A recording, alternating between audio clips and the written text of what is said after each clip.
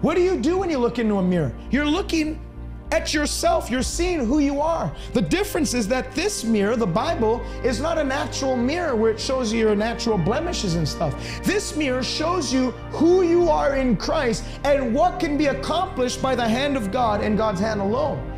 And he says, when you look into the mirror, you're seeing all these wonderful things about who God's calling you to be, what you can be in Christ, what you can do in Christ, what you can see in Christ. But if you just look into the mirror and go away and forget about it and don't do anything about it, you're going to be frustrated, you're going to be deceived, you're going to be sad, you're going to be constantly going in circles complaining as to why things don't work for you.